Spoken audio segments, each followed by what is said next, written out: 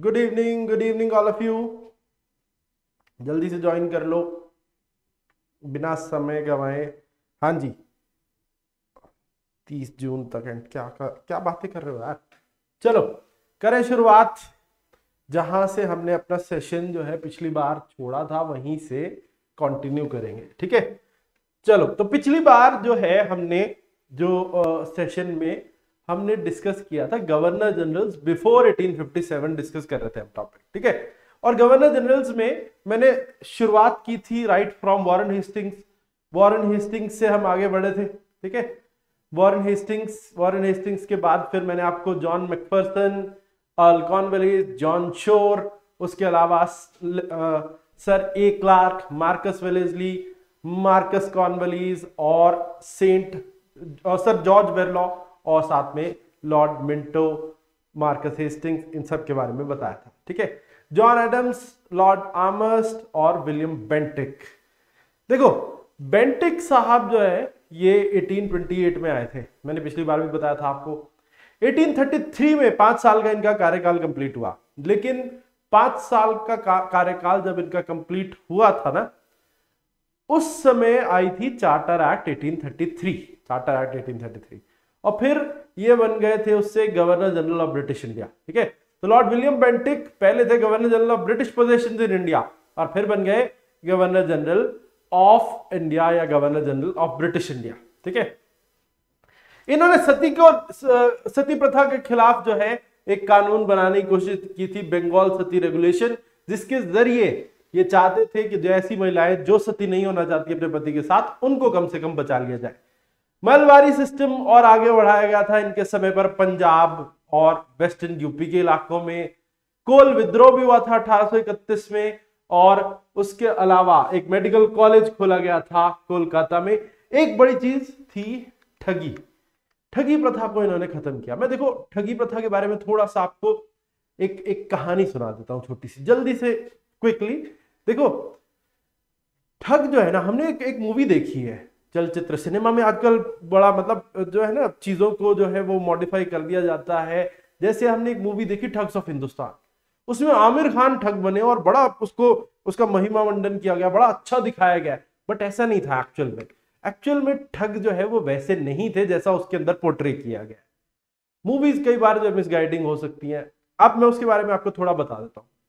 ये जो प्रॉब्लम है ना, ये जो ठगी की, ये अंग्रेज़ों के भी भारत में आने से पहले से शुरू हो गई एक प्रॉब्लम थी। ये शायद कह लो दिल्ली सल्तनत एरा से शुरू एक प्रॉब्लम थी, जो बहुत ज़्यादा बढ़ गई थी जब शाहजहां रूलर थे। शाहजहां के समय पे जब शाहजहां ने बहुत बड़ी बड़ी इमारतें बनवाई, बहुत बड़ी बड़ी बिल्डिंग्स बनवाई तो पूरे देश में इकोनॉमिक क्राइसिस हो गया, क्योंकि उस समय बहुत बड़ा फेमाइन पड़ा था। सूखा पड़ा था 1630-32 में। और इसकी वजह से फिर लोग जो है, उनके पास खाने पीने को नहीं बचा। इकोनॉमिक कंडीशन खरा, आर्थिक हालात खराब होने लगे इकोनॉमिक कंडीशन खराब होने लगे। तब उस समय पर जो है, ठग ठग जो है, वो बहुत ज़्यादा बढ़ गए। और ये ठग करते क्या थे? ठग करते ये थे कि भारत में जो व्यापारी थे, ज़्यादातर ट्रेडर्स वो जब जंगली रास्ते, क्योंकि भारत में ना ज़्यादातर सड़कों का नेटवर्क इतना बड़ा फैला हुआ नहीं था। जंगली रास्ते थे जिनसे होकर गुजरते थे आम लोग। अभी जो आम लोग और खासतौर पे व्यापारी जब इन रास्तों से गुजरते थे तो ठग रास्ते में भेस बदल के उनके टोलियों में शामिल हो जाते थे। और रात को जब व्यापारी कहीं रुकते थे आराम करने के लिए तो फिर उधर वो रात को एक्टिव हो जाते थे और आ, अपने साथियों के साथ मिल करके सारे व्यापारियों को मार डालते थे उनका सारा सामान लूट लेते थे। ठीक है? तो ये मॉडलस ऑपरेंडी रहता था इन ठगों का। और ये ठग जो है ना, इनके बीच में कहते हैं कि एक एक बड़ी कहानी जो है वो फ़ेमस थी। वो कहानी क्या थी कि ये ठग जो है, ये सब एक दूसरे का ब्रेन वॉश भी करते थे, ज़्यादा से ज़्यादा लोगों को अपने ठग गैंग में जोड़ने के लिए।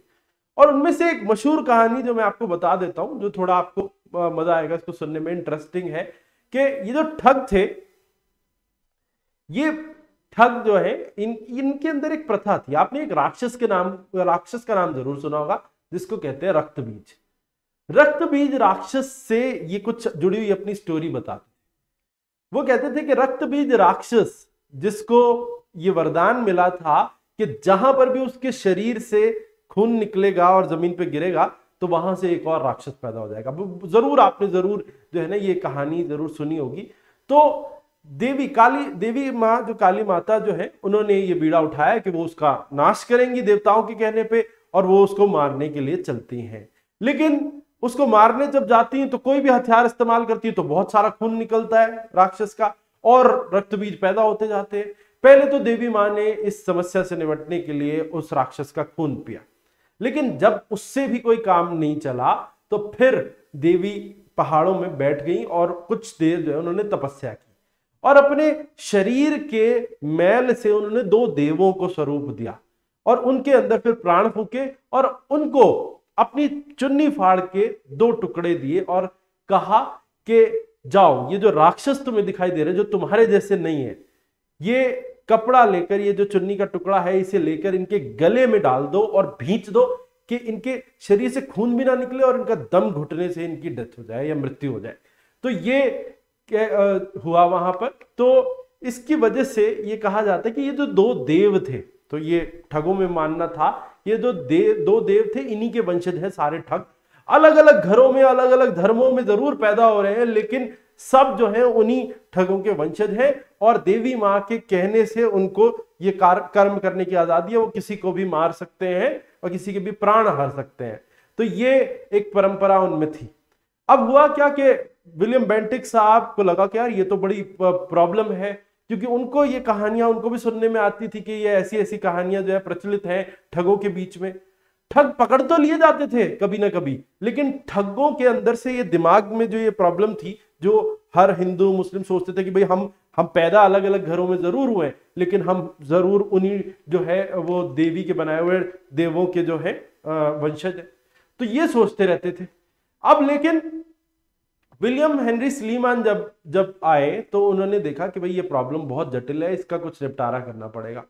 और उन्होंने इसको ठीक करने के लिए एक रास्ता चला उन्होंने कुछ मौलवियों की और पंडितों की, ब्राह्मणों की फौज बुलाई और उनसे कहा कि हम कुछ ठगों को पकड़ कर लाएँगे और उनको आपके हवाले कर देंगे। और आपने उन्हें कोसना है, उन्हें डर दिखाना है, धर्म का डर दिखाना है और उन्हें बोलना है कि आपको श्राप लगेगा या आपको नर्क का द्वार भी नहीं मिलेगा। ऐसे ऐसे डर दिखाने। तो इससे क्या हुआ कि यही चीज़ जो है उन ब्राह्मणों ने की। उन्होंने, ब्राह्मणों ने और मौलवियों ने अलग अलग धर्मों के जो लोग थे, उनको डर दिखाया कि भाई, अगर आप ऐसे ही गलत कार्य करते रहे तो कभी भी जो है वो आपका भला नहीं होगा। और कोई भी देवी जो है, वो वो ऐसे नहीं करती कि भाई, आपको किसी को मारने का हक दे, किसी भी आम इंसान को या जिसने कुछ भी नहीं किया। तो इसीलिए फिर क्या हुआ ये जो ठग थे, इनकी टोलियों पे उस समय के लोग जो है, वो बड़े अंधविश्वासी थे। जब उनको ब्राह्मणों ने डराया और ऐसा कुछ समझा दिया कि भाई नहीं, ये जो आप कर रहे हो गलत है तो वो, उन्होंने खुद जो है, वो ये मानना स्वीकार कर दिया कि उनसे गलती हुई है। और उन्होंने क्या किया कि उन्होंने खुद ही जो है, अपनी माफ़ी के अपना सरेंडर करना शुरू कर दिया, जब वो बाकी सारे ठगों को छोड़ दिया गया, जो जो पकड़े गए थे। वो अपने टोलियों में गए, वही कहानी दोबारा सुनाई कि भाई, तुम्हें पाप लगेगा और देवी कभी ऐसा नहीं करती और ये बिल्कुल गलत है। तो दोबारा से उनका ब्रेन वॉश किया गया और सारी ठगों की टोलियों ने आके सरेंडर करना शुरू कर दिया। तो ये बहुत एक ऐसा कदम था जो जो बड़ा ही सोच समझ के उठाया गया कदम था कि जो जिस तरीके से दिमाग इनके पहले से ही बदले जा चुके हैं, उनको दोबारा से बदलना होगा धर्म के ही तरीके से। तो इसीलिए उसको उसी तरीके से बदला गया और ठगी प्रथा बहुत हद तक सप्रेस कर दी गई विलियम बेंटिक के द्वारा। ठीक है? बेंटिक और उनके साथी स्लीमान ने ये चीज़ जो है वो प्राप्त की। इसके बाद चार्ल्स मेटकैफे जो है, मैंने बताया था आपको कि इन्होंने प्रेस की जो रेगुलेशन है, उसे वापस ले लिया था और इसके साथ ही ये कहलाए liberator of press in India. और इनके समय पे कैलकाटा पब्लिक लाइब्रेरी भी स्थापित की गई थी, जो 1836 में अब कहलाती है नेशनल लाइब्रेरी ऑफ़ इंडिया। ठीक है तो अब कहलाती है national library of India.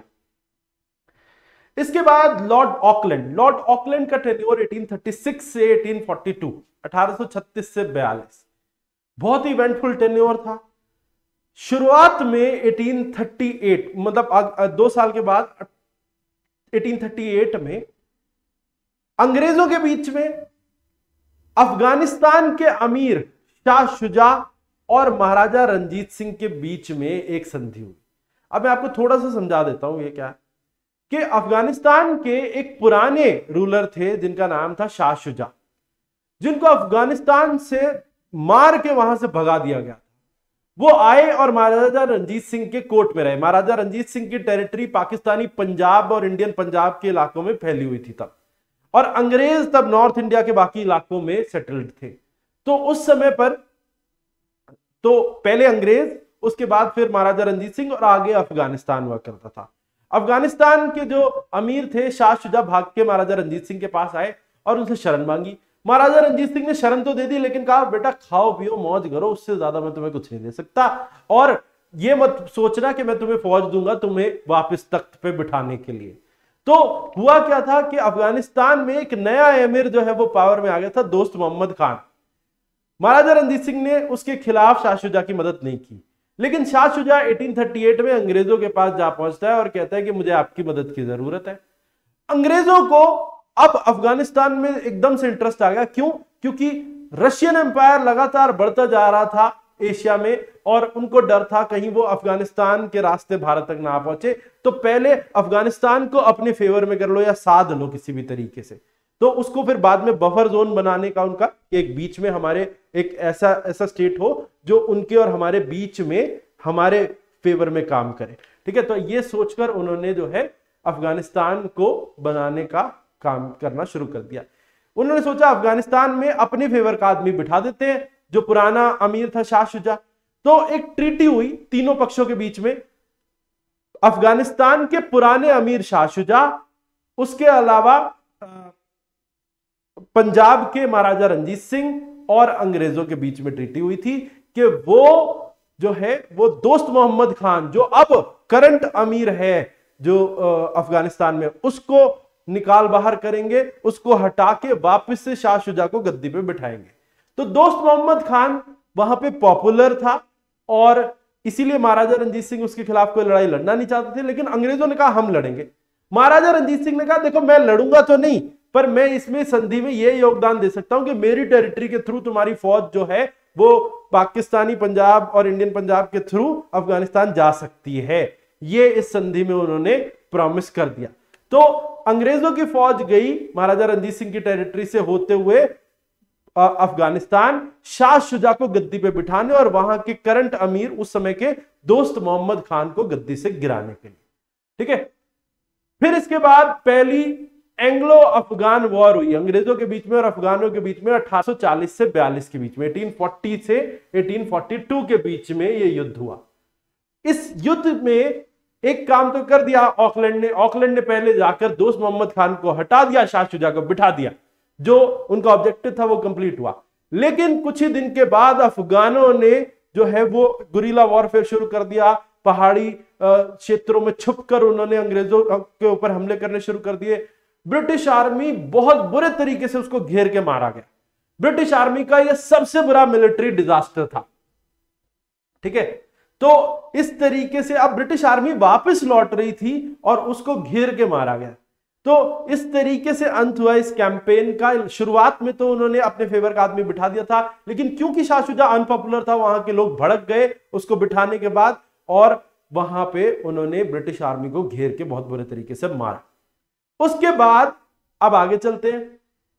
Auckland के टेन्योर में एक और चीज़ हुई थी। बॉम्बे का बैंक भी जो है स्थापित किया गया था 1840 में। ये 1840 में बना बैंक 1921 में इंपीरियल बैंक में कन्वर्ट हुआ इंपीरियल बैंक ऑफ़ इंडिया बना। उसके बाद 1955 में ये आगे चल के और तब्दील हो गया स्टेट बैंक ऑफ़ इंडिया में। ठीक है? तो ये है यहाँ पर ठीक है? और 1839 में 1839 में पहला बंगाली न्यूज़पेपर सांबंद प्रभाकर भी पब्लिश किया जाने लगा। तत्वबोधनी सभा बनाई गई 1839 में ही। जिसको बनाया था देवेंद्र नाथ टैगोर साहब ने। अब ये कौन है? गुरुदेव रविंद्रनाथ टैगोर के फादर देवेंद्र नाथ टैगोर, उनके फादर थे द्वारका नाथ टैगोर, ठीक है? तो ये देवेंद्र नाथ टैगोर कौन? गुरुदेव रविंद्रनाथ टैगोर जी के फादर थे, जिन्होंने तत्वबोधिनी सभा का गठन किया था 1839 में। फैक्ट है, सीधा नोट कर लो बहुत इंपॉर्टेंट है। इसके बाद क्योंकि ऑकलैंड का तो जो ये पूरा सफ़र था, वो खराब रहा था, वो आते वक्त उनकी सेना बुरे तरीके से मारी गई थी। तो लॉर्ड एलन बरो को उनकी जगह पे अपॉइंट किया गया 1842 से 1844 के बीच में। इस समय पे अंग्रेज़ों का मराठाओं की ग्वालियर ब्रांच के साथ एक युद्ध हुआ। ग्वालियर सिंधियाओं के कंट्रोल में था, जिन्होंने विद्रोह कर दिया 1843 में, और अंग्रेज़ों ने ग्वालियर में मराठाओं को हरा डाला। ठीक है? उसके बाद मद्रास जैसे देखो, अभी मैं, पिछले लेक्चर में मैंने बताया था 1806 में बैंक ऑफ़ बंगाल एस्टेब्लिश किया गया था। ठीक है ना? बैंक ऑफ़ बंगाल 1806 में 1840 में 1840 में बैंक ऑफ़ बॉम्बे एस्टेब्लिश किया गया था। और ऐसे ही बैंक ऑफ़ मद्रास एस्टेब्लिश किया गया 1843 में। ठीक है? तो बैंक ऑफ़ मद्रास 1843 में एस्टेब्लिश किया गया। ये भी 1921 में इंपीरियल बैंक बना और फाइनली 1955 में स्टेट बैंक ऑफ़ इंडिया ठीक है? तो एक 1806 में बंगाल 1840 बॉम्बे 1843 मद्रास तीनों को जोड़ करके 1921 में अंग्रेज़ों ने बना दिया इंपीरियल बैंक ऑफ़ इंडिया जब अंग्रेज़ यहाँ से चले गए तो भारत सरकार ने उस सारे एसेट्स को दे दिया स्टेट बैंक ऑफ़ इंडिया को 1955 में। ठीक है जी? तो ये हुआ पूरा कंप्लीट उसके अलावा सिंध सिंध राज्य पर पूरे तरीके से कब्जा कर लिया अंग्रेज़ों ने। सिंध, पाकिस्तानी पंजाब के नीचे पड़ता है सिंध। सिंध पर पूरे तरीके से कब्जा कर लिया अंग्रेज़ों ने 1843 में। अभी मैं आपको ये दोनों घटनाएँ बता देता हूँ एक बार जल्दी से। देखो, सबसे पहले अंग्रेज़ों के और सिखों के बीच में हुए युद्ध। ये इनकी तारीख है 1845 से 46 ये पहला एंग्लो सिख वॉर हुआ था और दूसरा हुआ था 1848 से 49 के बीच में। अभी मैं इसके बारे में आपको पूरा डिटेल बताऊँगा, लेकिन इससे पहले सिंध के बारे में बता देता हूँ कुछ।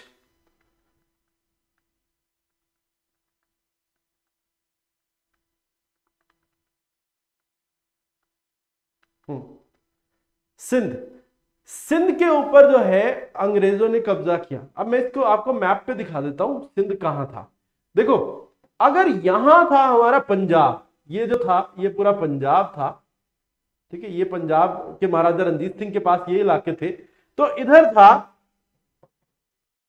सिंध।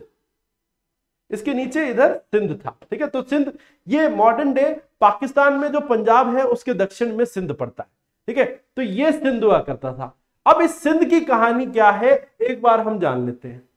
कहानी शुरू होती है तकरीबन 1770 से 1770 से ये वो टाइम है जब अंग्रेज़ बंगाल में घुसकर जो है, बंगाल के कुछ इलाकों पे कब्जा करने में सफल रहे थे। और इस समय पे ये जो कहानी है, वो है तालपुरा अमीर की। अमीर जो मतलब बेसिकली ये ये टर्म जो है वो राजा का सिनोनिमस है एक तरीके से तो ये यूज़ किया जाता है। तो ये तालपुरा अमीर एटीन सेंचुरी में जो है ये सिंध पे जो है कंट्रोल करके बैठे थे। 1770 में एक बलूची ट्राइब जिसका नाम तालपुरा था, वो कुछ पहाड़ी क्षेत्रों से निकलकर सिंध के इलाकों में, सिंध जो मैंने अभी आपको दिखाया, भारत के गुजरात से टच होने वाला इलाका पाकिस्तान का, वहाँ पर जो है जाके सेटल हो गए। अब ये लड़ने में बहुत अच्छे थे। और 1783 में तालपुराज का जो जो जो लीडर थे, उनका नाम था मीर फतेह अली खान, मीर फतेह अली खान, जिन्होंने सिंध पे कब्जा कर रखा था। अब क्या हुआ? कि इसके बाद 1800 में, सन 1800 में मीर फतेह की मृत्यु हो गई। मीर फतेह की मृत्यु हो गई, यानी कि जो उनके जो रूलर थे, उनकी डेथ हो गई। रूलर की डेथ के बाद, ध्यान से सुनना, मीर फतेह की डेथ के बाद उनके पूरे राज्य को डिवाइड कर लिया उनके भाइयों ने आपस में। ठीक है? अब उन्होंने सिंध को अपने आ, आपस में डिवाइड कर लिया था। चार यार कहा जाता है उनके भाइयों को उन्होंने आपस में डिवाइड कर लिया। फिर उन्होंने अपनी ताकत बढ़ानी शुरू करी। पहले उनके भाई के पास जितना था मीर फतेह उसके बाद उन्होंने और उसको ज़्यादा बढ़ाना शुरू कर दिया। जैसे जोधपुर के राजा से उन्होंने अमरकोट छीना शिकारपुर और बुक्कर अफगानों से छीना कराची लुज के चीफ से छीना तो इस तरीके से काफ़ी कुछ आसपास के इलाके छीनते चले गए और सिंध जो है वो फैलता चला गया। लगातार जो है सिंध का एक्सपेंशन हो रहा था। 1807 में अंग्रेज़ों को लगा कि भाई ये तो आ, अच्छी बात नहीं है जिस तरीके से सिंध की ताकत बढ़ रही है। लेकिन उस समय उनके लिए सबसे बड़ा खतरा जो है वो नेपोलियन फ्रांस का नेपोलियन और रूस में जार जो है वो उसके उनके लिए बड़ा खतरा थे।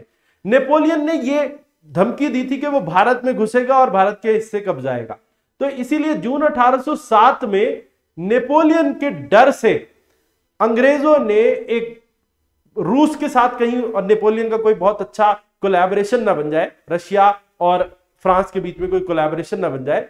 इसीलिए उन्होंने क्या किया कि एक बैरियर बनाने की कोशिश की कि पहले हम सिंध को कंट्रोल में कर ले, जो हमारे पड़ोस में है यहीं से घुसने की कोशिश करेंगे रूसी और नेपोलियन तो हम उनको यहाँ से घुसने नहीं देंगे। तो सिंध, अफ़गानिस्तान, ये सारे इलाके को ब्लॉक करना चाहते थे अंग्रेज़ तो इसीलिए उन्होंने क्या किया कि निकोलस स्मिथ को अंग्रेज़ों ने सिंध भेजा। निकोलस स्मिथ नाम के एक अफसर को सिंध भेजा गया और सिंध में जो चार यार, जो भाई थे मीर फतेह अली खान के, जो भाई थे, उनसे, उनके साथ एक ट्रीटी की गई, दोस्ती की treaty treaty of eternal friendship अब ये संधि जो है, इसके ज़रिए कुछ समय के लिए सिंध के साथ अच्छे रिलेशन बना लिए किसने? अंग्रेज़ों ने। 1832 आया, अब तक अंग्रेज़ों की स्थिति इंडिया में बहुत ज़्यादा मज़बूत हो गई थी। इंडिया के बहुत सारे इलाके अंग्रेज़ों के कंट्रोल में आने लगे थे। अब सिंध में जो तीन, जो अलग अलग अमीर बैठे थे, एक पाकिस्तानी हैदराबाद, पाकिस्तान में हैदराबाद है एक जगह तो वहाँ पे, वहाँ के एक अमीर थे, खैरपुर के और मीरपुर के तो सिंध इन तीन हिस्सों में डिवाइडेड था, हैदराबाद, खैरपुर, मीरपुर, इनके तीन अलग अलग अमीर थे, यही भाई जो अलग अलग हो गए थे बाद में तो इनके पास जो है, एक मैसेज भिजवाया उस समय के governor general Lord William Bentinck ने, ठीक है, और वहाँ भेजा हेनरी पोटिंगर को ताकि उनके साथ फिर से संधि की जाए, क्योंकि अब की बार रूस का, रूस की ताकत एकदम से बड़ी थी 1830-32 में, और रूस लगातार सेंट्रल एशिया में कब्जे कर रहा था। तो डर यह था कि रूस को कंट्रोल करने के लिए पहले इन्होंने अपने जो है सारे अड़ोस पड़ोस के राज्यों में अपनी पकड़ बनाने का सोचा था अंग्रेज़ों ने, और इसीलिए उन्होंने ये संधि करने का सोचा। अब ये जो संधि हुई इसमें 1832 में जो संधि हुई 1832 की जो संधि, इसमें कुछ ऐसे डिसीज़न थे कि जितने भी ब्रिटिश ट्रेवलर ट्रेडर हैं, जो व्यापारी हैं और ट्रेवल करने वाले हैं, सिंध से उन्हें गुजरने दिया जाएगा। और सिंधु नदी जो है, वो उसका इस्तेमाल भी करने देगा सिंध अंग्रेज़ों को, ताकि वहाँ से अपने हथियार जो है, वो लेके जा सके। क्योंकि देखो, अंग्रेज़ों को हथियार जो है वो लेके जाने थे और वो चाहते थे कि बे ऑफ़ बंगाल से सीधा सिंध से हथियार लेकर सीधा नॉर्थ इंडिया पहुँचा दिए जाए। तो इसके लिए उन्होंने सिंध नदी को यूज़ करने का फैसला लिया था और यही संधि कर ली थी सिंध के साथ कि अगर हम सिंध, सिंधु नदी का इस्तेमाल करेंगे, इंडस नदी का इस्तेमाल करेंगे तो आप हमें ले जाने देना यहाँ से सामान। और उसके अलावा जो भी वहाँ से ट्रेवल करेंगे अंग्रेज़ तो उन्हें एक पासपोर्ट चाहिए होगा। पर अंग्रेज़ वहाँ पे सेटल नहीं हो सकते, सिंध में सेटल नहीं हो सकते, वहाँ से गुजर ज़रूर सकते हैं। और कोई भी चीज़ अगर वो सिंध में बेचेंगे तो उसका रेट सिंध सिंध के अमीर जो है वो कंट्रोल कर सकते हैं। मान लो अंग्रेज़ों ने लाके वहाँ पे शराब बेची तो उसका रेट भी कंट्रोल कर सकते हैं अमीर जो सिंध के हैं। उनको ये ट्रीटी में था, ये संधि में था। ठीक है? और एक और था कि अंग्रेज़ों का जोधपुर के राजा के साथ अच्छा रिलेशन था। जोधपुर के राजा और सिंध के अमीर सब एक प्रॉब्लम से परेशान थे। जो कुछ लुटेरे थे कच्छ के, वो दोनों को तंग करते थे। तो अंग्रेज़ों ने कहा कि एक काम करें कि सिंध के अमीर और जोधपुर के राजा आपस में मिलके अपने पुराने मतभेद भुला के एक साथ काम करें कच्छ के लुटेरों को पकड़ने के लिए। तो ये था 1832 की संधि में। लेकिन उसके बाद छह साल के बाद एक और संधि हुई। अब लॉर्ड ऑकलैंड 1836 में गवर्नर जनरल बन के आ गए थे और उनको अब की बार तो रशिया के भारत पे हमला करने का खतरा और ज़्यादा दिखने लगा था। और उन्हें लग रहा था कि किसी भी तरीके से सिंध को और अफ़गानिस्तान को जो है अपने स्ट्रॉन्ग जो है हथियार बनाया जाए। तो इसीलिए उन्होंने क्या किया? कि एक चीज़ यहाँ पे हुई थी कि उन्होंने महाराजा रंजीत सिंह जो थे, देखो, महाराजा रंजीत सिंह अंग्रेज़ों के मित्र थे उस समय तक 1838 में। तो उन्होंने क्या किया कि महाराजा रंजीत सिंह ने रोजान जो सिंध के अमीरों से एक इलाका जो है, वो छीन लिया। महाराजा रंजीत सिंह ने सिंध के अमीरों से एक इलाका छीन लिया। अब लॉर्ड ऑकलैंड को यह पक्का यकीन हो गया कि ये अमीर जो है, ये महाराजा रंजीत सिंह से अब लड़ाई करेंगे।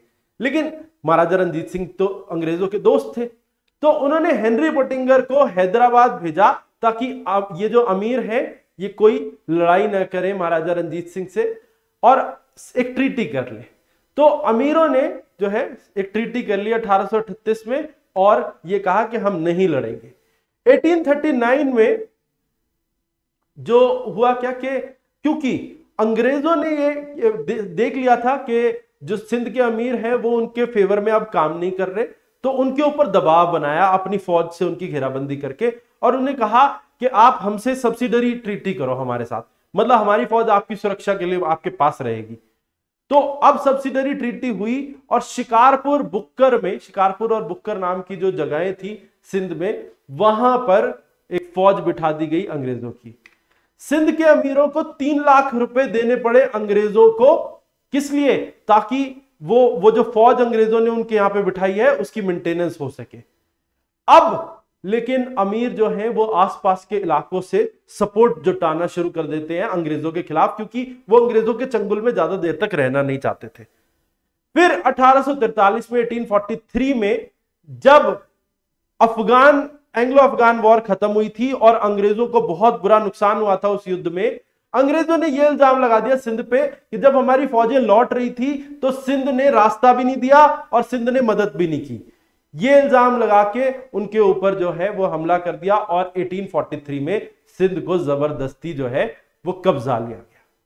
ठीक है? तो ये कहानी थी सिंध की। ठीक है? तो सिंपल बार बार उनके साथ संधि करते रहे और जैसे ही मौका मिला तो धोखे से उनके राज्य को हथिया लिया। यह कहानी थी सिंध की, ठीक है? लेकिन सिंध की कहानी कोई खास ज़्यादा बड़ी और इंपॉर्टेंट नहीं है। इंपॉर्टेंट है ज़्यादा जो इसमें वो अब मैं आपको बताने जा रहा हूँ, वो है एंग्लो सिख वॉर्स ये थोड़ा ध्यान से समझ लेना एंग्लो सिख वॉर्स एक बार मैं आपको बता दूँ। क्योंकि अंग्रेज़ों और सिखों के बीच में दो युद्ध हुए थे। ध्यान से सुनना, अंग्रेज़ों और सिखों के बीच में दो युद्ध हुए थे और इसके पीछे का बैकग्राउंड आपको पूरा समझ लेना चाहिए, क्या है। ठीक है? तो मैं पूरा बैकग्राउंड बताऊँगा आपको। बिल्कुल आराम से सुनना। देखो क्या होता है? इस मैप को देखो। ये मैप इस मैप में ये सिख एम्पायर दिख रहा है अपनी पीक पे। जब सिख एम्पायर अपने सबसे बड़े एक्सपेंशन पे था तो इतना बड़ा था। ठीक है? और इस समय राजा थे महाराजा रंजीत सिंह। लेकिन महाराजा रंजीत सिंह, इससे पहले उन्होंने सिखों को इकट्ठा किया था। ठीक है? महाराजा रंजीत सिंह की खुद की डेथ 1839 में हुई थी। महाराजा रंजीत सिंह इतने ताकतवर थे कि अंग्रेज़ भी उनसे लड़ने का सोच नहीं सकते थे, उल्टा उन्होंने उनके साथ दोस्ती की थी। महाराजा रंजीत सिंह ने इतना मॉडर्न हथियार खाना बना रखा था, अपनी सेना में यूरोपियन लोगों को भर्ती कर रखा था और 12 अलग अलग मीजल्स को जो है इकट्ठा करके उन्होंने एक बड़ी फौज बनाई थी। इसके पीछे की पूरी कहानी सुन लो, अब क्या हुआ था। 1738 से 1740 1738 से 1740 नादिर शाह नाम का एक लुटेरा पंजाब से होते हुए दिल्ली में उसने लूटपाट की। पंजाब का इलाका रास्ते में था। पंजाब बहुत बुरे तरीके से उसको तबाह किया गया। लेकिन पंजाब के लोगों ने यह समझ लिया कि अगर हमने अपनी सुरक्षा के लिए कभी अगर खड़े नहीं हुए तो बार बार ऐसे आक्रमण होते रहेंगे और हमारे साथ ये जाति होती रहेगी। तो इसलिए वहाँ के लोगों ने अपने आप को फाइटिंग यूनिट्स में बदलना शुरू कर दिया। हर इलाके में, हर रीजन में मीजल्स बनने लगी, जो लड़ाकू कौम सिखों की, जो तैयार थी अपनी खुद की सुरक्षा करने के लिए। अगले आने वाले कुछ सालों में इस हमले के बाद सिखों ने अपने आप को ताकतवर बना लिया, अलग। लेकिन वो सब बारह अलग अलग मिजल थी, सब अपनी अपनी सुरक्षा के लिए बनी थी। लेकिन वो सब आपस में भी लड़ पड़ते थे जब भी होता ऐसा कुछ गड़बड़। लेकिन फिर महाराजा रंजीत सिंह ने इन बारह की बारह मिजल्स को इकट्ठा किया। बारह मिजल्स को इकट्ठा किया और इन सबको इकट्ठा करके सिख साम्राज्य की स्थापना की। ये मीजल्स थी, शहीद मिजल आलूवालिया मिजल फाजलपुरिया मिजल रामगढ़िया मिजल शुक्र चकिया मिजल निशान वालिया मिजल भंगी मिजल कन्हैया मिजल नकई मिजल करोरा, धालेवालिया और फुलकिया मिजल ये बारह अलग अलग मिजल्स थी। और खुद महाराजा रंजीत सिंह इसमें से एक शुक्र चकिया मीजल से ताल्लुक रखते थे। इन्होंने अच्छे रिलेशन बना के मेट्रीमोनियल लाइसेंस के ज़रिए सारी बारह मीजल्स को इकट्ठा किया, क्योंकि सब अपने अपने लिए लड़ रहे थे, सब अपनी अपनी लड़ाई लड़ रहे थे, लेकिन अब उनको इकट्ठा करके एक स्ट्रॉन्ग सिख एम्पायर जो है, वो महाराजा रंजीत सिंह ने बनाया। तो महाराजा रंजीत सिंह ने 18 देखो, महाराजा रंजीत सिंह 1801 में उन्होंने अपना सिख एम्पायर बनाया था और 1839 में उनकी डेथ हो गई। 1801 1801 में बनाया 1839 में उनकी डेथ हो गई। और इसके लिए वो पिछले 10-15 साल से कोशिशें कर रहे थे मतलब 1790 से ही वो कोशिश करते जा रहे थे। 1801 में जाके उन्होंने सारी मिजलों को इकट्ठा करके जो है, वो सिख एम्पायर बना दिया था। अब इसके बाद क्या हुआ? उन्होंने सिख एम्पायर बना तो लिया लेकिन 1839 में जैसे ही उनकी डेथ हुई, उन्हें नहीं पता था कि सिख एम्पायर बहुत बुरे तरीके से बिखरने वाला आगे चल के। और वही हो रहा था। अब महाराजा रंजीत सिंह की डेथ के बाद उनके बेटे कुंवर खड़क सिंह को गद्दी पे बिठाया गया। कुंवर खड़क सिंह। लेकिन खड़क सिंह के खिलाफ साजिश हुई और खड़क सिंह को जहर दे दिया गया। व्हाइट मरकरी उनके खाने में मिला दिया गया था और उनकी मृत्यु हो गई। अब ये क्यों हो रहा था? क्योंकि महाराजा रंजीत सिंह ने कई सारी शादियाँ की थी और अलग अलग वाइफ उनकी अलग अलग मीजल से थी। हर मीजल की जो यही चाहत थी कि उनके जो मीजल का जो जो बच्चा है, वो महाराजा रणजीत सिंह का, वो गद्दी पे बैठे और उनकी मीजल ज़्यादा ताकतवर हो जाए। तो इस चक्कर में आगे बहुत सारी प्रॉब्लम हुई सिखों के बीच में। खड़क सिंह जो इस समय पर ये कह लो कि महाराजा रणजीत सिंह के बेटे थे, इन्होंने गद्दी संभाली, लेकिन इनको जहर दे दिया गया। जब इनको जहर दे दिया गया, उसके बाद उनके बेटे नौनिहाल सिंह को गद्दी पे बिठाया गया।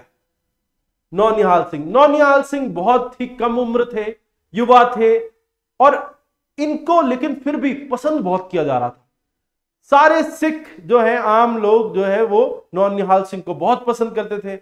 नौनिहाल सिंह को फौज में भी बहुत पसंद किया जाता था वो बहुत पॉपुलर हो गए थे बहुत जल्दी।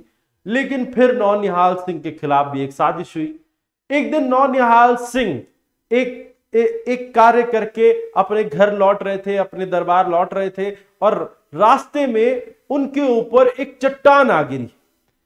दिखाई पड़ता था पहली दृष्टि में कि वो कोई साजिश है और वो चट्टान जो गिरी उसकी वजह से उनके एक साथी की तुरंत वहीं पर मौत हो गई और उनको भी काफ़ी सारी चोट लगी थी। अब एक अंग्रेज़ अफसर, एक एक अंग्रेज़ व्यक्ति थे जो सिख फौज में थे, जिनका नाम था अलेक्जेंडर गार्डनर। उन्होंने अपनी किताब में लिखा कि अलेक्जेंडर गार्डनर नौनिहाल सिंह से कुछ पीछे चल रहे थे। जैसे सेना की टुकड़ी चलती है तो उसमें पीछे चल रहे थे और नौनिहाल सिंह के ऊपर उन्होंने चट्टान को गिरते देखा। और उन्होंने ये देखा कि नौनिहाल सिंह को कोई बहुत ज़्यादा चोट नहीं लगी थी और वो थोड़े ठीक थे। फिर नौनिहाल सिंह को एक कैंप में ले जाया गया। कैंप में वहाँ पर एक यूरोपियन जो है, डॉक्टर उनकी जाँच करते हैं।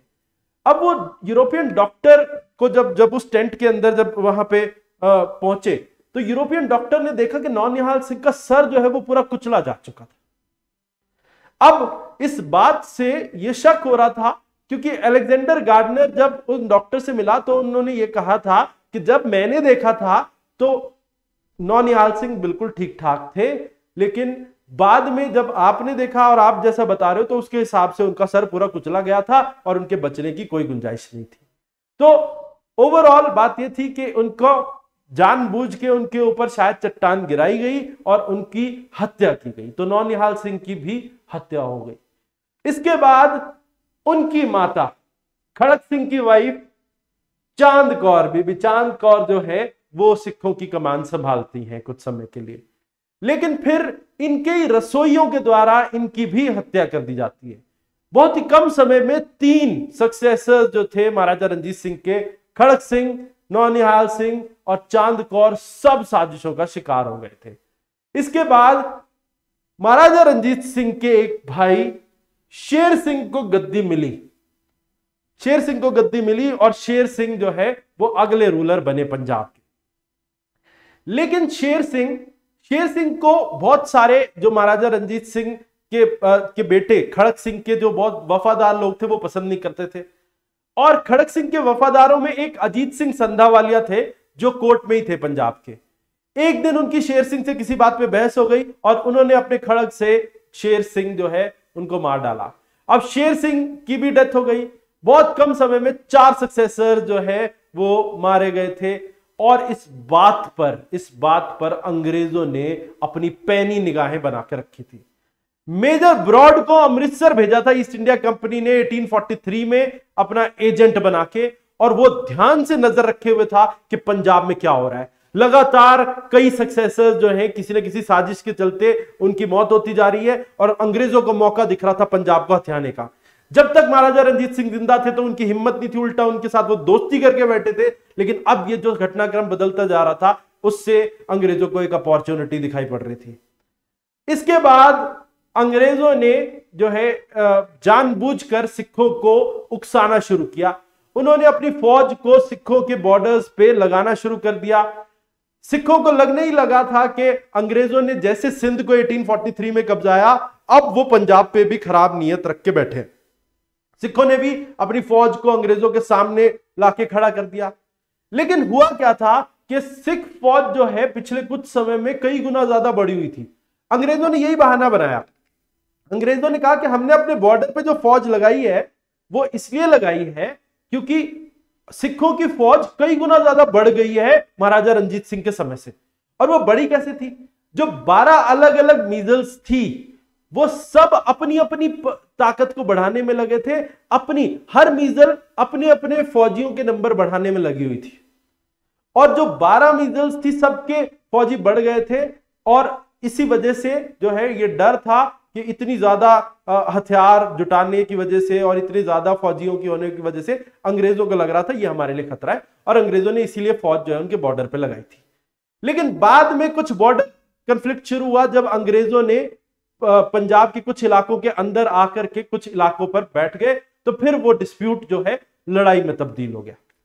अब ये लड़ाई शुरू हुई और इसे कहते हैं फ़र्स्ट एंग्लो सिख वॉर 1845-46 आप ये कह सकते हो कि अंग्रेज़ों ने एक मौका देख ही लिया था, किसी भी तरीके से वो सिखों को उकसा के लड़ाई पे ले आए थे। युद्ध शुरू हुआ, पाँच छोटी छोटी बैटल्स हुई battle of Mudki December 1845 Firoz Shah December 1845 उसके बाद जनवरी 1846 में भद्दोवाल और उसके बाद अलीवाल और सबराव शुरुआत की दो लड़ाइयों में अंग्रेज़ और सिख जो है वो बराबर थे, लेकिन धीरे धीरे सबराव की लड़ाई आते आते सिखों ने घुटने टेक दिए थे। इसके पीछे का कारण यह था कि इतनी बड़ी फौज होने के बाद भी सिखों की प्रॉब्लम यह थी, और मॉडर्न फौज होने के बाद भी कि उनके दो वज़ीर, लाल सिंह और तेज सिंह वो अंग्रेज़ अफसरों को सारी इंफॉर्मेशन सप्लाई कर रहे थे, हर मूवमेंट के बारे में, क्योंकि ये ये लोग जो हैं, वो अलग अलग मीजल्स में जो, आपस में जो चिड़ थी, उसकी वजह से अगर एक मिजल लड़ रही है तो दूसरे मिजल के लोग जो है, वो साजिश करके अंग्रेज़ों तक खबर पहुँचा जाते हैं। दूसरी लड़ रही है तो बाकी की मिजल तो उनके अंदर जो एकता नहीं थी, उसकी वजह से ये पहली सिख वॉर का नतीजा ये निकला कि इसमें जो है, सिखों की हार हुई। इसके बाद एक संधि की गई अंग्रेज़ों के बीच में और सिखों के बीच में, इसे कहते हैं ट्रीटी ऑफ़ लाहौर 1846 अब देखो, इस समय पर ये चार लोग मर चुके थे, चारों की डेथ हो चुकी थी, और एक छोटा सा बच्चा, यंग, दिलीप सिंह को गद्दी पे बिठाया गया था, जो महाराजा रंजीत सिंह का सबसे छोटा बेटा था, और उनकी एक रानी चाँद कौर सॉरी जिंदन कौर, उनकी जो रानी जिंदन कौर, उनकी केयर टेकर बनी थी। तो दिलीप सिंह, यंग दिलीप सिंह राजा थे इस समय पे, और उनकी माता उनकी केयर टेकर थी। और उस समय पर यह लड़ाई लड़ी गई फ़र्स्ट एंग्लो सिख वॉर, ठीक है? और उसके बाद ट्रीटी हुई, ट्रीटी ऑफ़ लाहौर। लाहौर की संधि में क्या होता है? एक बार जल्दी से समझ लो। 9 मार्च 1846 का दिन ये ट्रीटी साइन की गई। महाराजा दिलीप सिंह, जो राजा थे इस समय, छोटे से यंग राजा उनको सतलुज नदी के अपने सारे इलाकों पर से अपना क्लेम छोड़ना पड़ गया। दक्षिण में जो भी थे उनके तो वो सारे अंग, अंग्रेज़ों के हाथ आ गए। और इसमें डेढ़ करोड़ का हरजाना लगाया गया सिख दरबार सिखों पर लाहौर दरबार पे। लाहौर जो उनकी कैपिटल था लाहौर दरबार पे डेढ़ करोड़ का हरजाना कि आपने हमसे बिना मतलब युद्ध किया और आपको डेढ़ करोड़ का पेनल्टी लगेगी वो आपको हमें देना पड़ेगा। क्योंकि इसमें एक व्यक्ति थे जिनका नाम था गुलाब सिंह। गुलाब सिंह कश्मीर के राजा थे, ये पहले सिखों के अधीन आया करते, अंडर आया करते थे, अब वो उन्होंने अपने रियासत को अलग कर लिया था। गुलाब सिंह ने अंग्रेज़ों को उकसाया था और कहा था कि तुम इनके ऊपर हरजाना लगा दो, हमें पता है ये पे नहीं कर पाएँगे, क्योंकि सिखों ने हथियारों में सारे पैसे फूक दिए, इनके पास पैसे अब है नहीं। तो इसीलिए जो है ये पैसे पे नहीं कर पाएँगे, और फिर तुम इनके और इलाके छीन लेना इनसे। ठीक है? तो ये साजिश जो है, वो गुलाब सिंह ने उन्हें अंग्रेज़ों को बता दी थी और अंग्रेज़ों ने ऐसा ही किया। अंग्रेज़ों ने डेढ़ करोड़ का हरजाना लगाया। जब वो उसे पे ना कर सके तो कश्मीर और हजारा के इलाके उन्होंने, अंग्रेज़ों ने छीन लिए सिखों से। ठीक है? तो सिख दरबार से वो छीन लिए गए। अब अंग्रेज़ों ने इसमें से कश्मीर गुलाब सिंह को एक करोड़ रुपए की कीमत में बेच दिया। ऑल पहले एक करोड़ की बात हुई थी कि गुलाब सिंह को गुलाब सिंह अंग्रेज़ों को एक करोड़ रुपए देंगे और कश्मीर ले लेंगे, लेकिन बाद में वो सेटलमेंट पचहत्तर लाख पे हो गई थी। दिलीप सिंह को जो है राजा एक्सेप्ट किया जाएगा और क्वीन जिंदन, जो उनकी माता है, जिंदन, महारानी जिंदन, उनको गार्डियन स्वीकार कर लिया अंग्रेज़ों ने और लाल सिंह को उनका वज़ीर बना दिया गया। और एक अंग्रेज़ अफसर, हेनरी लॉरेंस, ये ब्रिटिश रेजिडेंट बनकर लाहौर में बिठा दिए गए। तो ये था ट्रीटी ऑफ़ लाहौर 1846 में। तो इस तरीके से ट्रीटी ऑफ़ लाहौर हुई। लेकिन इस ट्रीटी के तुरंत बाद लाल सिंह, जो जिनको वज़ीर बनाया गया था, मैंने अभी आपको बताया, दिलीप सिंह को राजा बनाया गया था, छोटे यंग दिलीप सिंह को, उनकी रानी को कहा कि ठीक है, जो आपकी जो इनकी माता है, उनको हम इनका केयरटेकर मानते हैं और वज़ीर होंगे लाल सिंह। अंग्रेज़ों ने यह मान लिया था इस लड़ाई के बाद। लेकिन अंग्रेज़ों ने बहुत हद तक पंजाब पे कंट्रोल बना लिया था और सिखों को यह पसंद नहीं आया। लाल सिंह जो वज़ीर थे, उन्होंने कुछ ही समय के अंदर विद्रोह कर दिया दोबारा से। सिखों को यह बात पसंद नहीं आई थी कि कश्मीर को गुलाब सिंह को क्यों बेचा गया? और इसी वजह से उन्होंने जो है, वो विद्रोह कर दिया।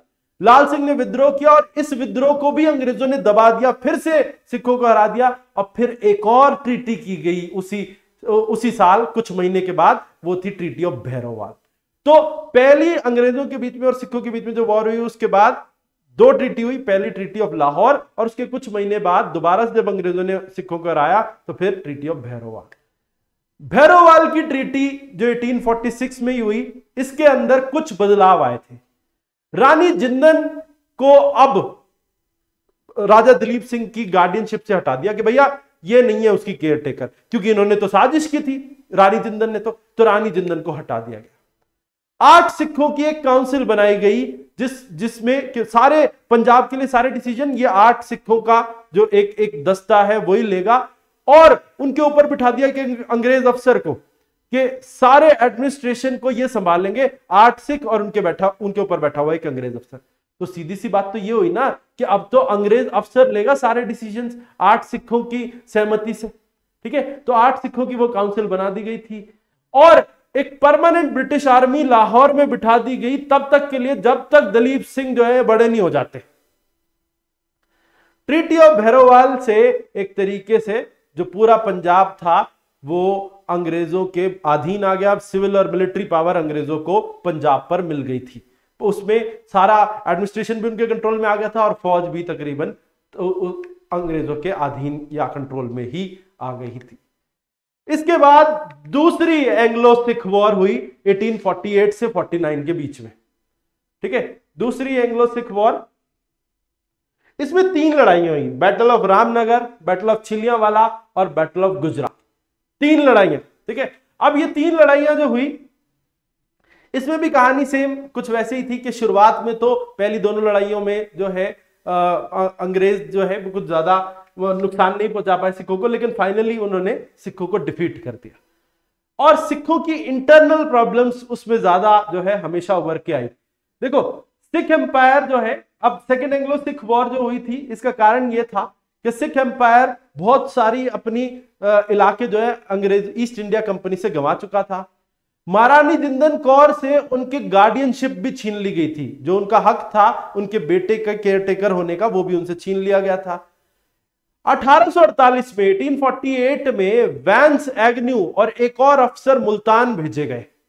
उन्होंने जाकर वहाँ से टैक्स मांगना शुरू किया, कि टैक्स दो हमें। और वहाँ पर एक दीवान थे, जो सिखों के, वो मूल राज थे। उनसे कहा कि इतना पैसा हमें जमा कराओ। मूल राज जो थे, इस बात से बड़े हैरान हो गए कि हमारे इलाकों से हमसे ज़बरदस्ती टैक्स कलेक्ट किया जा रहा है और इस बात पे मूल राज ने विद्रोह कर दिया। तो दीवान जो मूल राज, जो मुल्तान के दीवान थे, मूल राज, उन्होंने विद्रोह कर दिया था। जैसे उन्होंने विद्रोह किया तो पंजाब के अलग अलग इलाकों में सिखों ने कई जगह विद्रोह कर दिया और सिख सोल्जर्स ने अंग्रेज़ों के खिलाफ जंग छेड़ दी थी। और फिर ये तीन लड़ाइयाँ हुई थी बैटल ऑफ़ रामनगर छिलियावाला और गुजरात ये गुजरात ये मॉडर्न डे गुजरात नहीं है. ये पाकिस्तानी पंजाब में एक गाँव था, जिसका नाम गुजरात था. अब इन युद्धों का नतीजा क्या था? कि पहली दो लड़ाइयों में अंग्रेज़ों की तरफ़ से जो जनरल लड़ा था, उसका नाम था ह्यूग गॉफ रामनगर और छिलियावाला की लड़ाई में. दोनों इंडिसाइसिव थी. कुछ पक्का नहीं कहा जा सकता था, अंग्रेज़ जीते या सिख जीते.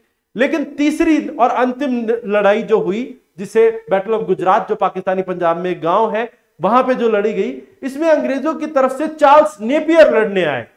और उन्होंने बुरे तरीके से सिख आर्मी को हरा दिया और इसके साथ ही जो है, सिखों को पूरे तरीके से डिफीट कर दिया गया।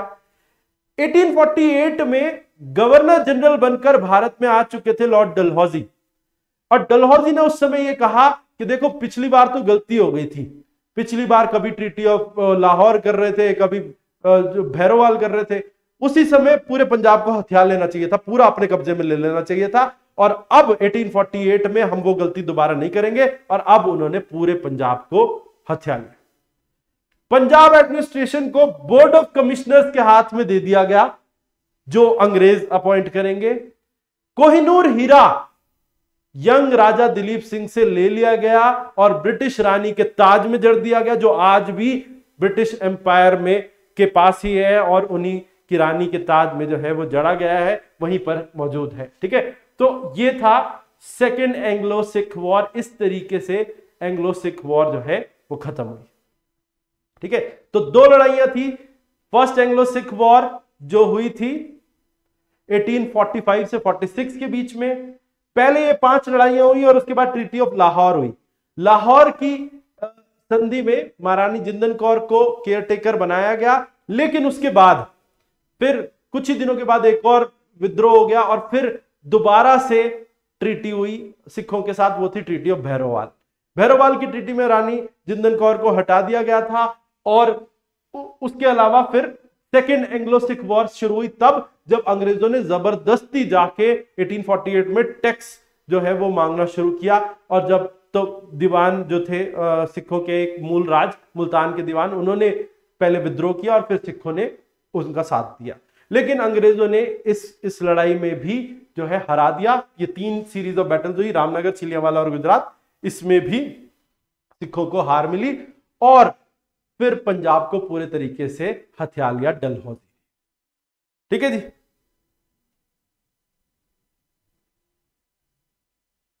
देखो, इसमें जो छोटी छोटी बैटल्स हैं, इसमें आप इनको ज़्यादा मत समझो। बस नाम अगर याद रखने तो रख लो। बहुत ज़्यादा इंपॉर्टेंस नहीं है। सिंपल है। फ़र्स्ट एंग्लो सिख वॉर और सेकेंड एंग्लो सिख वॉर दोनों में नतीजा तो दोनों फेवर में था किसके? अंग्रेज़ों के ही। ठीक है? तो ये आपने ध्यान रखना है। और दैट्स हाउ जो Sikh empire was annexed by British तो ये आखिरी एक बड़ा एम्पायर uh, था जिसे अंग्रेज़ों ने अपने कब्जे में लिया। ठीक है? तो ये मैंने आपको पूरा समझा दिया। अब हम आगे चलते हैं जो जहाँ पर हम मौजूद थे जहाँ गवर्नर जनरल्स पे वहीं पर वापस आ जाते हैं।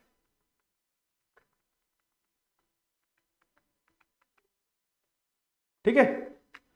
तो 1843 में जैसा मैंने आपको बताया था तो सिंध को कब्जा लिया लॉर्ड एलन ब्रोग ने 1845 में लॉर्ड, देखो 1844 से 48 तक टेन्योर है लॉर्ड हेनरी हार्डिंग का।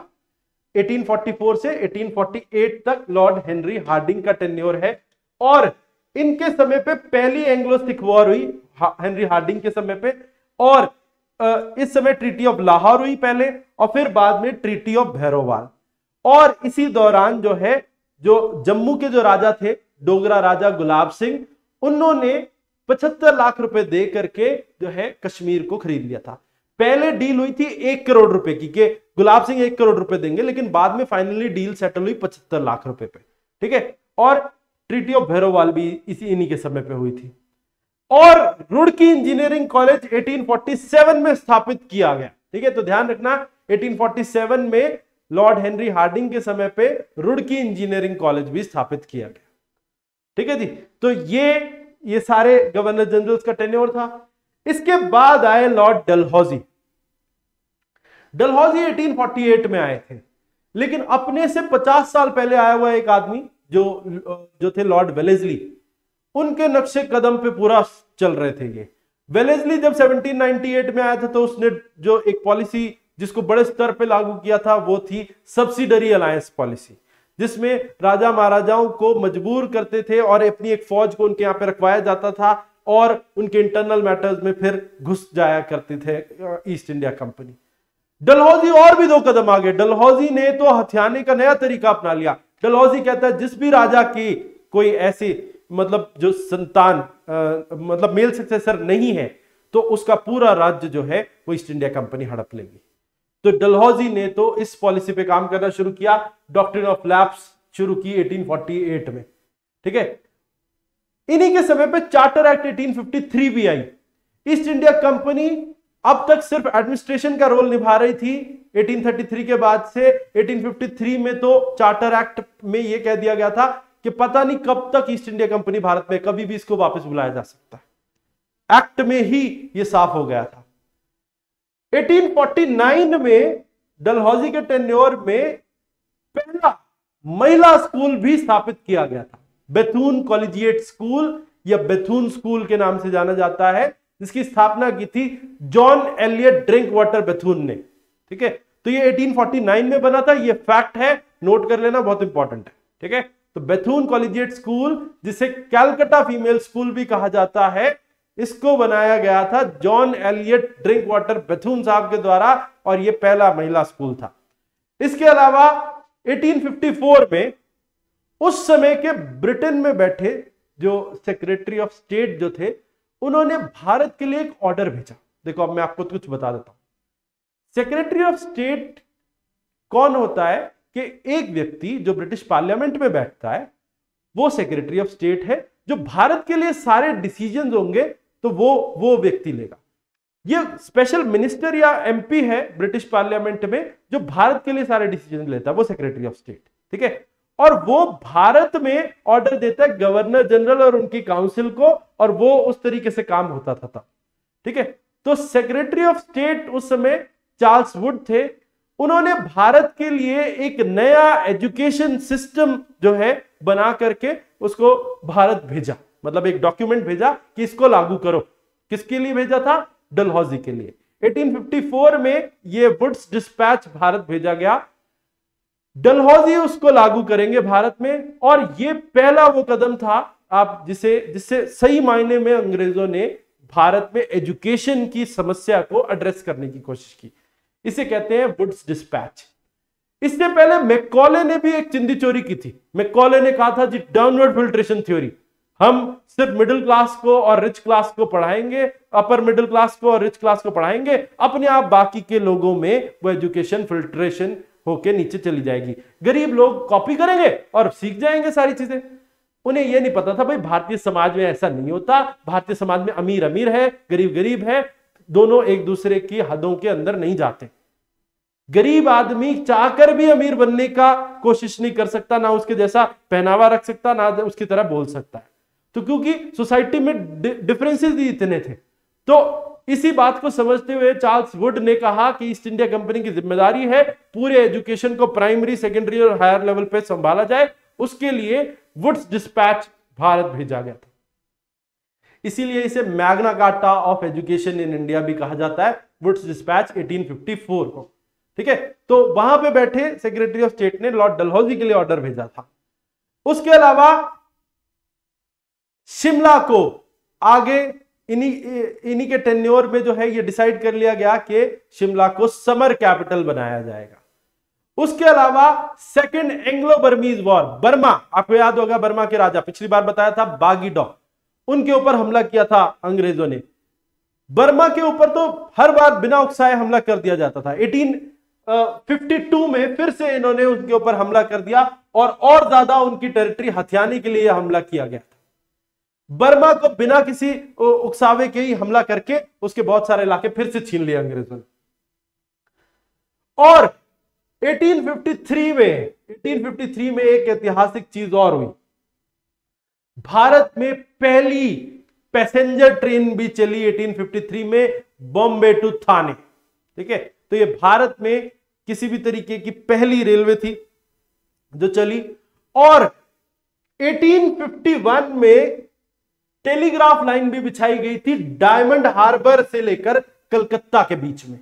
1851 में टेलीग्राफ लाइन बिछाई गई थी डायमंड हार्बर से कलकत्ता के बीच में। 1854 में डलहौजी के टेन्योर में पोस्ट ऑफ़िस एक्ट भी लाई गई थी। ठीक है? तो डलहौजी के टेन्योर में, डलहौजी 1848 से 1856 तक भारत में थे, इन्हीं के टेन्योर में पोस्ट ऑफ़िस एक्ट लाई गई।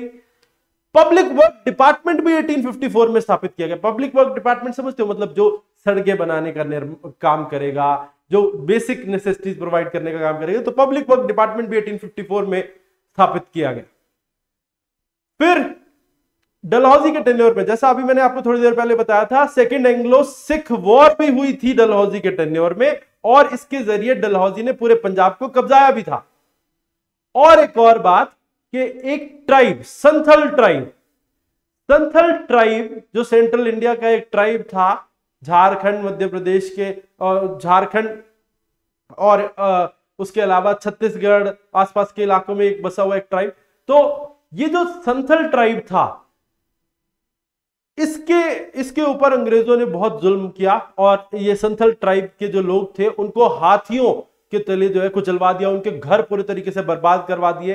पंद्रह हज़ार संथल जो विद्रोह कर रहे थे अंग्रेज़ों के खिलाफ 1855 में 1855 में उनको बुरे तरीके से तबाह कर दिया अंग्रेज़ों ने। ठीक है? और एक और चीज़ रिलीजियस डिसेबिलिटीज एक्ट लाई गई थी। रिलीजियस डिसेबिलिटीज एक्ट 1856 में लाई गई। वो भी किसके टेन्योर में? डलहौजी के टेन्योर में ही डलहौजी के समय में ही।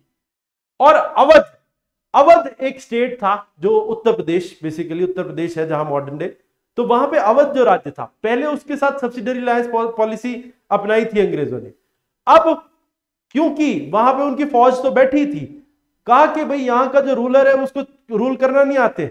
और इसकी वजह से बहाना बना के उन्होंने अवध को कब्जा लिया मिस रूल कह करके 1856 में। ठीक है? और 1856 में ही उन्होंने फीमेल इन्फेंटिसाइड, फीमेल मतलब जो छोटी बच्चियों का जब जन्म होता है तो उनको जन्म होते ही मार दिया जाता था। और नरबली, ह्यूमन सेक्रीफाइस, ऐसी सारी चीज़ों पर डलहौजी ने बैन लगा दिया सेंट्रल प्रोविंसेस में उड़ीसा में और महाराष्ट्र में। सेंट्रल प्रोविंसेस में उड़ीसा में और महाराष्ट्र में एक तो फीमेल इन्फेंटिसाइड, छोटी बच्चियों की जो पैदा होते ही जो हत्या कर दी जाती है, उस पर रोक लगा दी उन्होंने। और दूसरा जो था नरबली पे भी जो है उन्होंने प्रतिबंध लगा दिया। ठीक है? तो ये सब किया था लॉर्ड डलहौजी ने, जिनका टेन्योर है भारत में 1848 से 1856 1848 से 1856 के बीच का टेन्योर है उनका। ठीक है? इसके बाद आए लॉर्ड विस्काउंट कैनिंग, जिनका टेन्योर है 1856 से 1858 as governor general. As governor general of British India तो क्योंकि 1858 के बाद से उनका रैंक फिर बदला। जब ग, uh, 1858 में क्या हुआ कि क्राउन रूल आ गया भारत में और 1857 की क्रांति के बाद और यहाँ से जो है ईस्ट इंडिया कंपनी को वापस बुला लिया गया। तो पहले जब तक ये ईस्ट इंडिया कंपनी के लिए काम करते थे तब तक ये कहलाए governor general of British India 1856 से 1858 तक। 1858 में गवर्नमेंट ऑफ़ इंडिया एक्ट आने के बाद से गवर्नमेंट ऑफ़ इंडिया एक्ट आने के बाद ये कहलाने लगे वॉइस रॉय ऑफ़ इंडिया ठीक है? तो ऑल दो ये अठारह के बाद भी भारत में रहे 1861 62 तक, लेकिन 1858 तक ही ये गवर्नर जनरल बन के रहे, उसके बाद वॉइस रॉय बन गए। इनके समय पे हिंदू विडोज रीमैरिज एक्ट आई थी, जिसमें जो ऐसी महिलाएँ थी जिनके पति का निधन हो चुका, उनका दोबारा जो ब्याह कराया जाएगा या शादी कराई जाएगी, उसको लीगलाइज कर दिया गया। और इन्हीं के समय में 1857 का विद्रोह भी हुआ रिबेलियन भी हुआ। और इन्हीं के समय में 1857 में ये फैसला लिया था अंग्रेज़ों ने कि तीन प्रेसिडेंसी यूनिवर्सिटीज बनाई जाएँगी, एक कलकत्ता में, एक बॉम्बे में और एक मद्रास में। तीन जो मेन प्रिंसिपल उनकी जगहें थी, उन सब जगहों पे एक एक यूनिवर्सिटी स्थापित की जाएगी, जो 1857 में उसी साल की गई, जिस साल एक बड़ा युद्ध हुआ रिवोल्ट ऑफ़ 1857 ठीक है? इसके बाद आगे जो टॉपिक है, वो है history of press in India ठीक है? लेकिन मैं इससे पहले आपको कुछ इस टॉपिक के बारे में बताऊँ, इससे पहले मैं आपको कुछ आगे बता देता हूँ।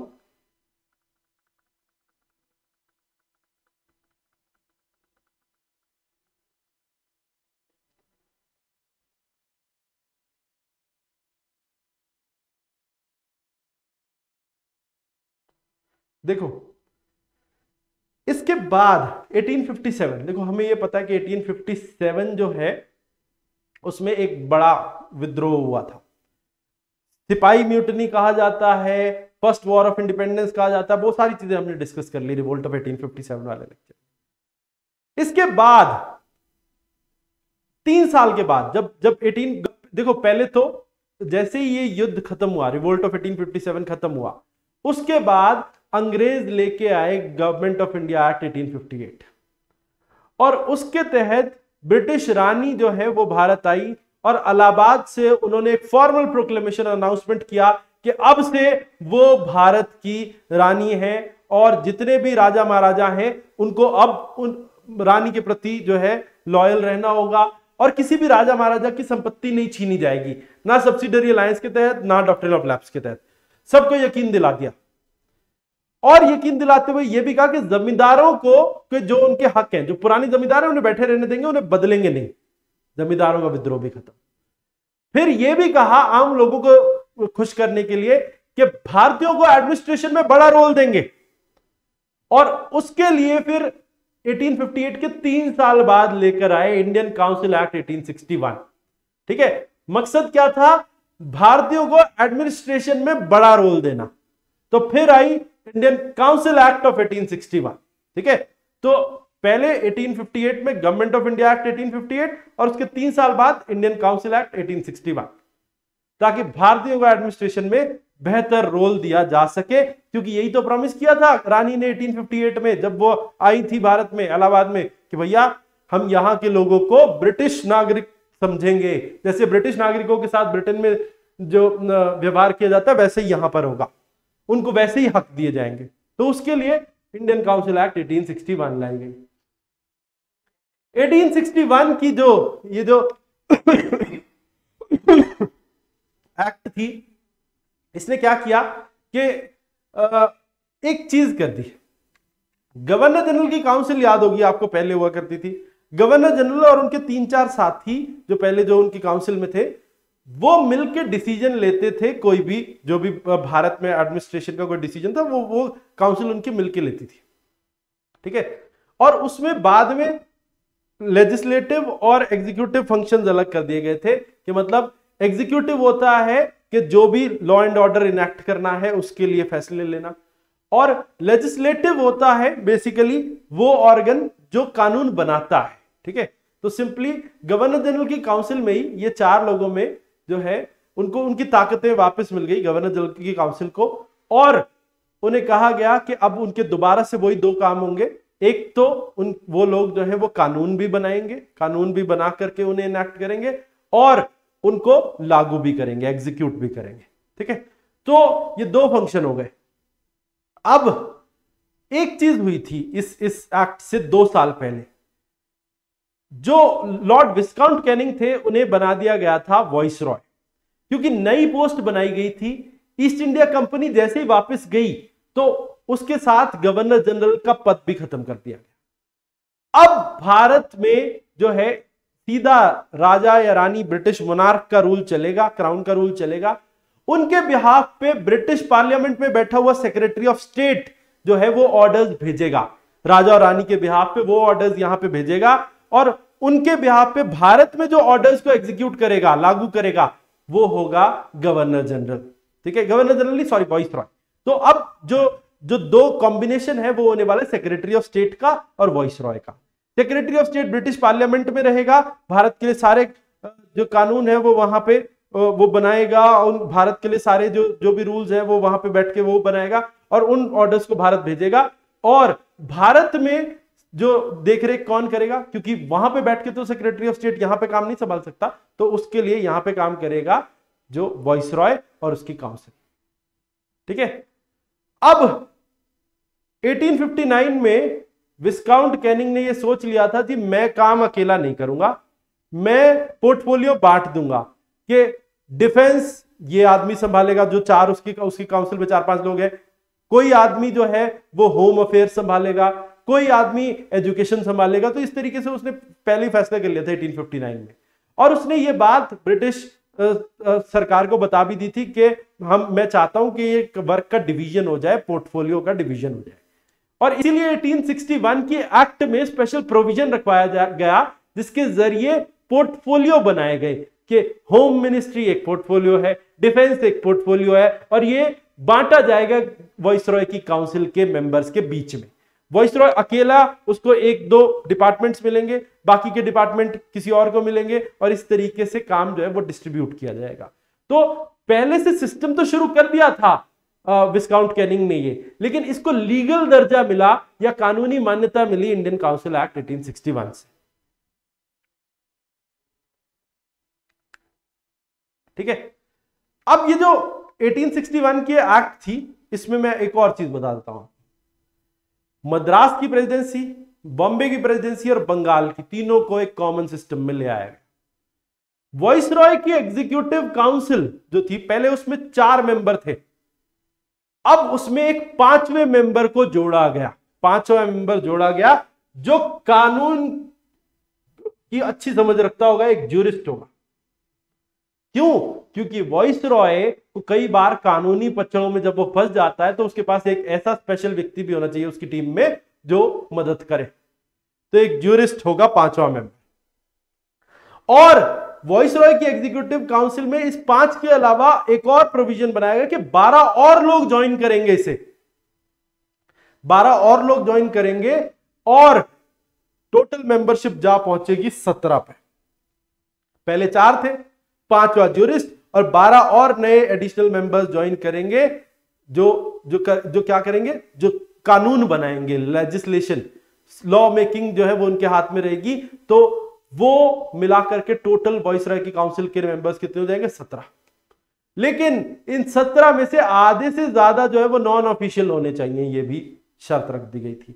नॉन ऑफिशियल मतलब या तो वो गवर्नर जनरल की पोजीशन भी उनके पास नहीं होनी चाहिए या आम जो है उनके पास जो है ये कह लो कि सेना का कोई रैंक नहीं होना चाहिए तो नॉन ऑफिशियल होने चाहिए वो। ठीक है? तो ये कह, कह दिया गया था। इसके बाद बॉम्बे की काउंसिल जो है, उसको, उसकी कानून बनाने की जो पावर थी, वो लौटा दी गई। ठीक है? लेजिस्लेटिव पावर बॉम्बे और मद्रास की लौटा दी गई 1861 में ही कि बॉम्बे की काउंसिल अपने यहाँ के लोकल लॉज जो है, वो बना सकती है। मद्रास की काउंसिल अपने यहाँ के लोकल लॉज बना सकती है। ठीक है? लेकिन बंगाल की काउंसिल को यह हक मिला 1862 में। ठीक है? तो उनकी काउंसिल अलग से उसको अपने लिए लोकल लॉज इनेक्ट करने का जो है हक मिला 1862 में। नॉर्थ वेस्ट फ्रंटियर प्रोविंस जो अब पाकिस्तान और अफ़गानिस्तान वाला रीजन है वो, उसको यह हक मिला 1886 में और बर्मा और पंजाब को यह हक मिला 1897 में। तो एक एक करके इन सभी इलाकों को अपने लिए लोकल इलाकों के लिए कानून बनाने के हक मिल गए या लेजिस्लेटिव पावर्स मिल गई लोकल बॉडीज को। तो इस तरीके से एक एक करके। सबसे पहले बॉम्बे और मद्रास की लेजिस्लेटिव काउंसिल वजूद में आई, फिर 1862 में बंगाल की अलग, उसके बाद फिर नॉर्थ वेस्ट फ्रंटियर प्रोविंस की 1886 में और बर्मा और पंजाब की 1897 में। ठीक है? और वॉइस रॉय कैनिंग जो है, उन्होंने जो 1859 से ही उन्होंने जो शुरू कर दिया था देखा, मैंने बताया था ना कि उन्होंने शुरू कर दिया था अपनी तरफ़ से ही कि डिपार्टमेंट बांटने शुरू कर दिए थे कि ये ये, जैसे अब अब होता है ना डिफेंस मिनिस्टर के पास डिफेंस पोर्टफोलियो है, फाइनेंस मिनिस्टर के पास फाइनेंस पोर्टफोलियो है। तो ऐसे पोर्टफोलियो वाला सिस्टम उन्होंने इनफॉर्मली शुरू कर दिया था। लेकिन 1861 की एक्ट से उसे मान्यता भी मिल गई। ठीक है जी? और ठीक है? अब एक और चीज़ थी कि लॉर्ड कैनिंग जो थे, उन्होंने तीन हिंदुस्तानियों को लेजिस्लेटिव काउंसिल में शामिल किया। कानून बनाने देखो, है क्या कि कानून बनाने के लिए उन्होंने 12 नए मेंबर्स ऐड किए थे। उसमें तीन भारतीयों को भी शामिल किया गया था। एक थे राजा बनारस। बनारस के राजा, दूसरे पटियाला के राजा और तीसरे सर दिनकर राव। 1862 में इनको शामिल किया गया तो ये क्या है कि ये लॉ मेकिंग प्रोसेस में शामिल होंगे जो 12 नए एडिशनल मेंबर जोड़े गए थे, उसमें से तीन भारतीय। ठीक है? तो ये था 1861 की एक्ट ठीक है जी? तो चलो, इसके बाद हम बाकी का नेक्स्ट लेक्चर में करेंगे और नेक्स्ट लेक्चर में क्योंकि जो है अब मैंने आज बहुत सारी इंफॉर्मेशन आपको दे दी है। बहुत ज़्यादा एक साथ ना इकट्ठा हो जाए, इसलिए मैं आगे नहीं करा रहा हूँ। आप इस लेक्चर को दोबारा पीछे से जाकर देखोगे तो फिर आप वो सारी इंफॉर्मेशन ग्राफ कर सकते हो। क्योंकि बहुत ज़्यादा एक ही दिन में कर लेने से फिर क्या होता है ना, फिर वो बच्चों को हिस्ट्री की उल्टियाँ आने लगती तो वो नहीं होना चाहिए। थोड़ा थोड़ा पहले अपनी प्रोसेसिंग अपने दिमाग में बिठाओ और फिर हम आगे चलेंगे। तो ये इंडियन काउंसिल एक्ट आई 1861 में। थोड़ा सा यहाँ पे मैं एक चीज़ इससे रिलेटेड बता देता हूँ कि जैसे मैंने आपको पहले बताया था कि government of India act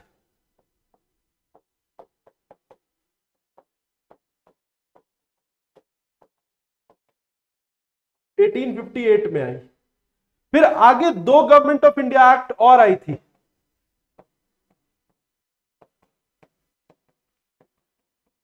1919 में और government of India act.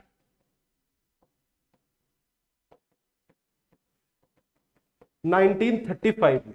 तो 1858, 1919 और 1935 लेकिन बीच में आई थी तीन काउंसिल एक्ट बीच में आई थी तीन council act Indian council act of 1861 Indian council act 1892 और इंडियन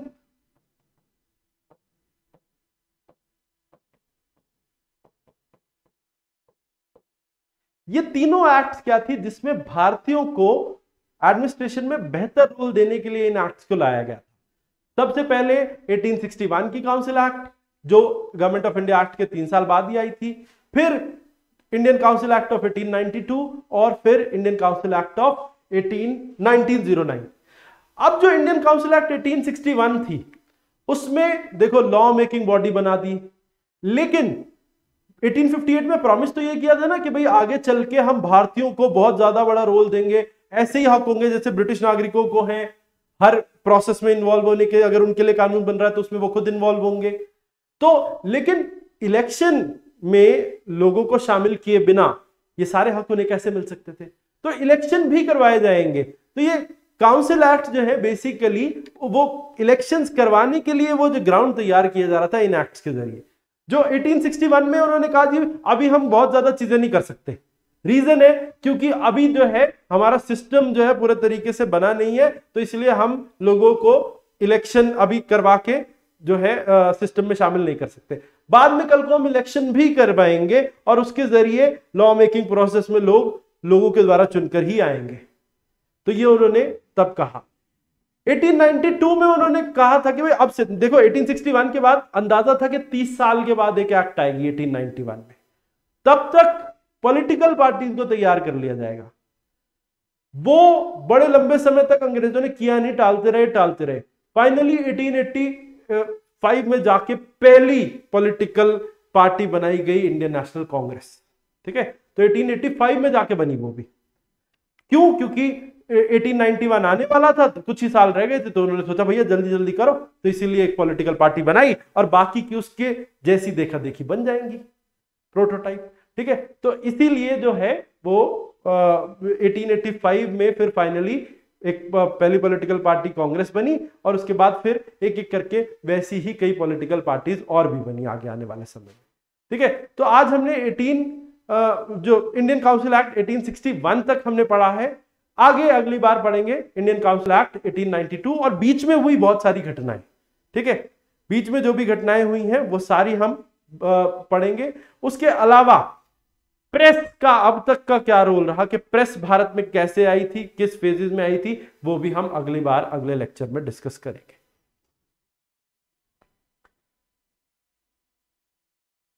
ठीक है? चलो। तो आज के लिए इतना ही, बाकी फिर मिलेंगे नेक्स्ट लेक्चर में। जिन लोगों को लगा है कि बहुत ज़्यादा डेटा था, दोबारा से लेक्चर देखना, आराम से, फिर आपको चीज़ें समझ में आ जाएँगी। ठीक है? क्योंकि बहुत सारा डेटा एक बार में कई बार होता है प्रोसेसिंग करने में मुश्किल हो जाती है। मेरे पास भी समय कम है तो मुझे जल्दी चलना है। ठीक है? क्योंकि आपके पेपर से पहले हमें सब कुछ कंप्लीट करना है तो मुझे भी थोड़ा फास्ट चलना है। आपको स्पीड अप करना पड़ेगा। तो इसलिए मैं दोबारा रिपीट नहीं कर पाऊँगा ज़्यादा बार तो आपको ही लेक्चर दोबारा से रिवाइंड करके देखना पड़ेगा। ठीक है जी? चल।